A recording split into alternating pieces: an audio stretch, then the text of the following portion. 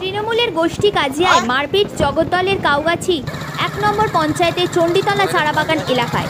অভিযোগ, শনিবার বিকেলে তিপ্পান্ন নম্বর সংসদের সদস্য তাপসী মাইতি সক্রিয় দলীয় কর্মীকে গজেন বিশ্বাস মারধর করেছে এবং শ্লীলতাহানিও করেছেন।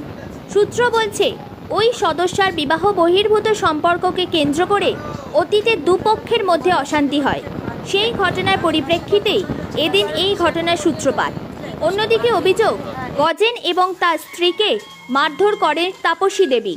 তবে উভয় পক্ষই একে অপরের বিরুদ্ধে মারধরের অভিযোগ করেছেন।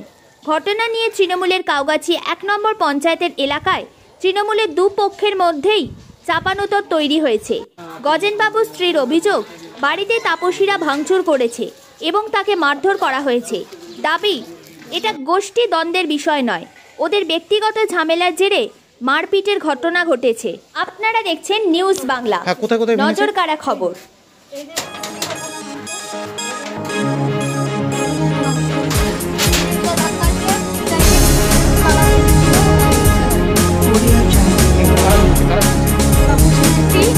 ছেলে জামাই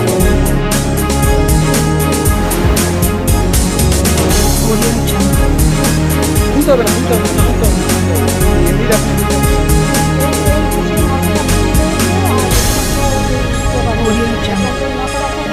দাঁড়ান দাঁড়ান। বাসাতে নাকি এখন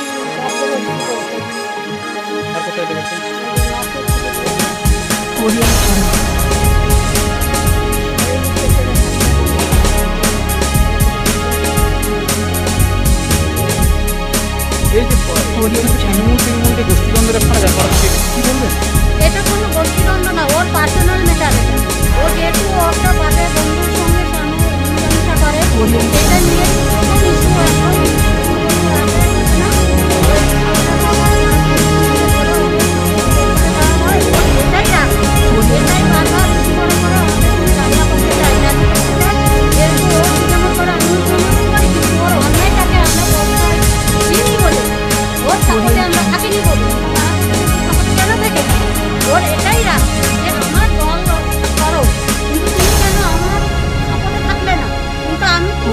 করেছ আমি কেন তোমার সাপোর্টে থাকব? তুমি যতই আমার দল করো কিন্তু ভুলটা তো তুমি করেছ।